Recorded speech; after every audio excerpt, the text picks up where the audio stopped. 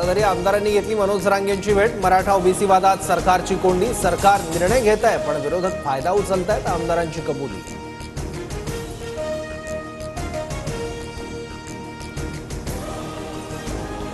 विरोधक विरोधात असतील तर सत्ताधारी का आरक्षण देत नाहीत? जरांगेंच्या प्रश्नावर सत्ताधारी आमदार निरुत्तरित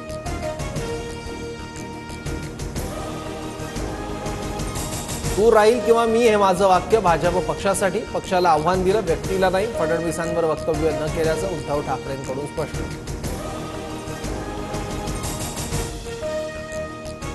मी कोणत्याही ढेकणाला आव्हान देत नाही तुझ्या नादाला लागण्याएवढी तुझी कुवत नाही उद्धव ठाकरेंचा नाव न घेता फडणवीसांवर निशाणा.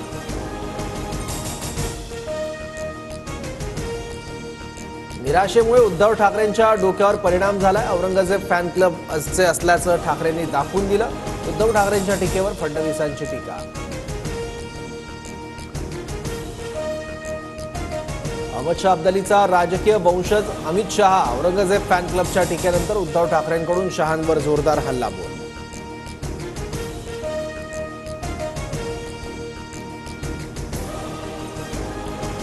मुंबई पोलिसांच्या सदनिकांसाठी तातडीनं प्रस्ताव तयार करा. वरळी पोलीस वसाहतीतील रहिवाशांच्या समस्या प्राधान्यानं दूर करा. राज ठाकरेंच्या भेटीनंतर मुख्यमंत्री एकनाथ शिंदे यांचे निर्देश.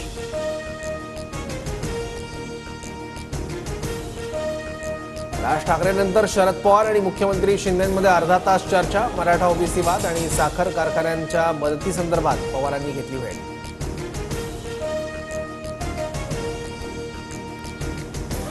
अमित देशमुख पीएच्या माध्यमातून पैसे घेत होते. देवेंद्र फडणवीसांना पत्र लिहून सर्व माहिती दिली. पत्रात जयंत पाटलांचं इतरांचंही नाव सचिन वाझे यांचा कळवळजनक आरोप. गेल्या दोन दिवसांपासून नागपुरात वाझेंनी पत्र पाठवल्याबद्दल अद्याप माहिती नाही. पाहिल्यानंतर प्रतिक्रिया देईन फडणवीसांची प्रतिक्रिया. जागा वाटपावर शिक्कामोर्तब होत नाही तोपर्यंत महायुतीतील तिन्ही पक्षांनी उमेदवारीची घोषणा करू नये. तटकरेंनी दिंडोरीची उमेदवारी जाहीर केल्यानंतर गिरीश महाजनांचा सल्ला.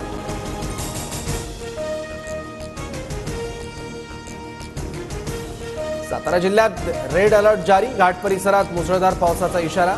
तर नाशिक पालघर राणे ठाणे रायगड मुंबई पुणे कोल्हापूरसह रत्नागिरी सिंधुदुर्गला ऑरेंज अलर्ट जारी. पुणे आणि पिंपरी चिंचवडला पावसाचा रेड अलर्ट. खडकवासला धरणातून सत्तावीस हजार क्युसेकनं विसर्ग. नागरिकांनी सतर्क राहावं. उपमुख्यमंत्री फडणवीसांचं आवाहन.